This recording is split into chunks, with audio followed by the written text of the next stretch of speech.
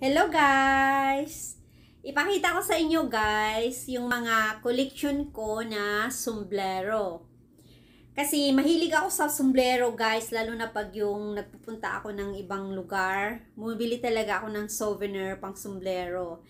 Kaya ako mahilig sa sombrero guys kasi lalo na pag sa tag-init, iningatan ko rin yung mukha ko kasi lalo na may edad na 'di ba? Yung magkaroon ka ng mga wrinkles, at yung dark spot. Kaya mahilig ako sa sombrero tapos yung sunglasses na rin.